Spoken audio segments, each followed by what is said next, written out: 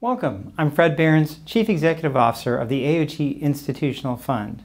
I'm often asked by investors and other financial advisors, why would I use private equity? Isn't that the kind of investment that ties your money up for a while and uh, since I can't sell it every day, that carries risk with it? Well, yes and no. We're going to look at why private equity can be so helpful to an overall portfolio as, as a portion of a well-balanced um, uh, allocation.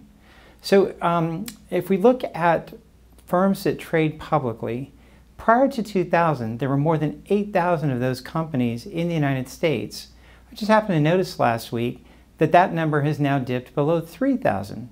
Now, some of that is because of consolidation, public companies buying other public companies, but also because there are not as many private companies going public, in other words, IPOing or having an initial public offering, and the ones that are doing it are staying private longer.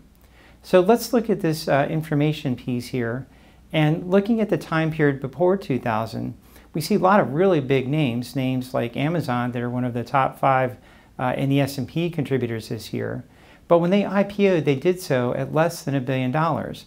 And typically, after less than four years of being in operation. Why would they do that?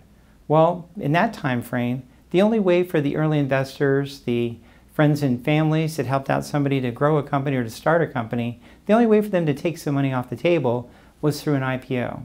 However, since 2000, private equity firms have been investing in these companies before they go public, and in doing so, uh, the average time that a company grows before uh, IPOing is more than 14 years, and they do so at a much higher market capitalization rate in the hundreds of billions of dollars in some cases or over $100 billion. So as we look at the value of private equity and why it's become increasingly important, now the university endowments, insurance companies, pension plans have known this for a long time.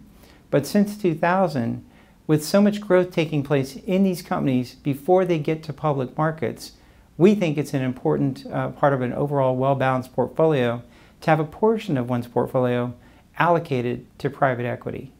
Fred Baerenz with the AOG Institutional Fund.